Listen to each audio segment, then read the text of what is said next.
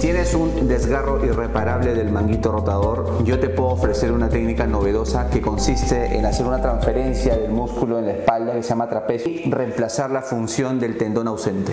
Agenda tu cita conmigo para poder ayudarte.